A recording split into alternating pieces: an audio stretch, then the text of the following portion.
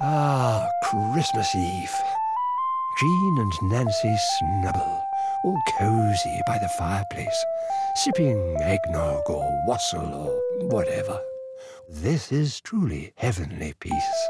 It's a real vibe. Wait just a tick. Did you hear that? That thump and bump, thump from yon chimney?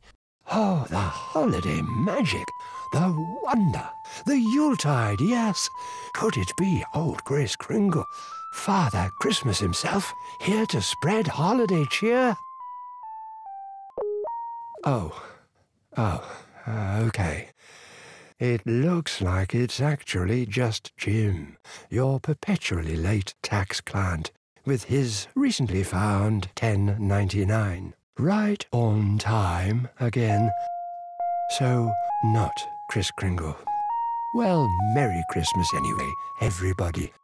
We hope you get what you want this year.